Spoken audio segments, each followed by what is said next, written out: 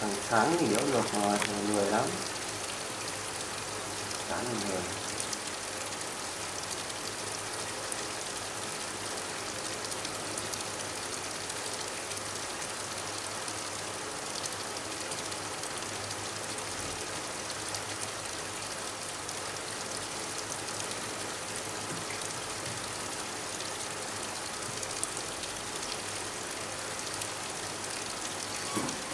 thánh lười cái nhà luôn mà đéo phải là lười.